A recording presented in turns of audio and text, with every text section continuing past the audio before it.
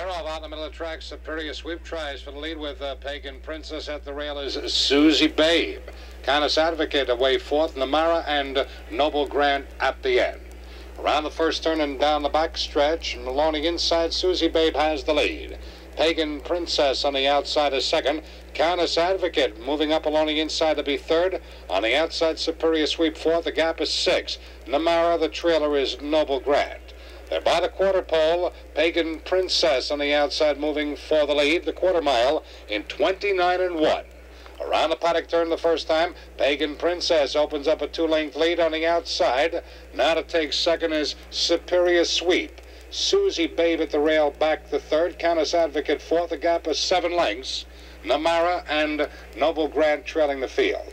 They're in the stretch the first time, showing the way along the inside. Pagan Princess, Superior Sweep on the outside is second. Susie Babe at the rail, a close-up third. That's Canis Advocate fourth, five back to Namara and the trailer. Noble Grant a half mile in 59 and 1. Down the backstretch, the final time.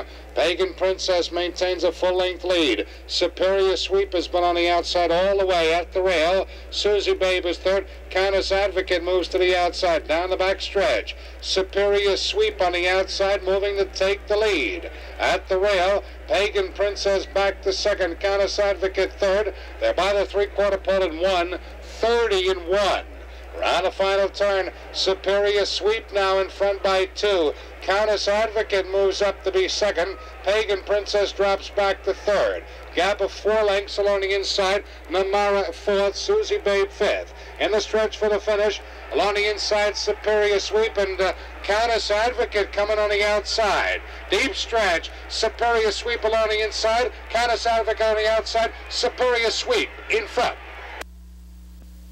On gate.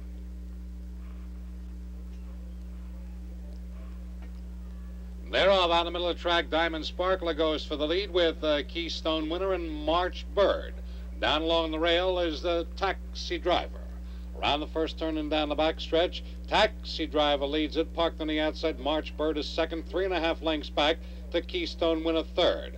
Driving the uh, outside is Diamond Sparkler fourth. Poppa Capello on the move fifth. Bien Beau is sixth, followed by Pop Star and the trailer, Sly Beau.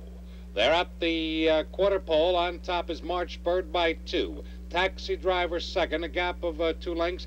Diamond Sparkle third. Keystone Winner fourth. Poppa Capello fifth. The quarter in 29 and two. They reach the top of the stretch the first time. Showing the way is March Byrd by a full length. In the stretch coming to the grandstand and a half mile, March Byrd leads it by a full length. Taxi Driver second. Keystone Winner starts his move up on the outside third and going up for the lead. Big move on the outside. Keystone winner has the lead past the half in a minute, one fifth of a second. They wheel around the clubhouse, turn the final time. Keystone winner in front for Lucien Fontaine.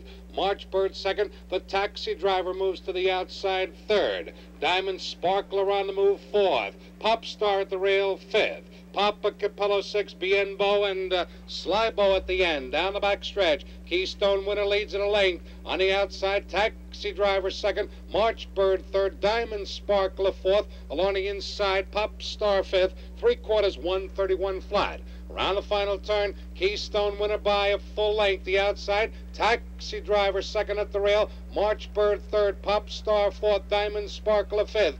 Bien Beau on the far outside six. They're at the top of the stretch. Keystone winner along the inside with the lead. Out in the middle of the track is the taxi driver. They straighten out, drive for the wire. Keystone winner, taxi driver out in the middle of the track. Far outside is the pop star.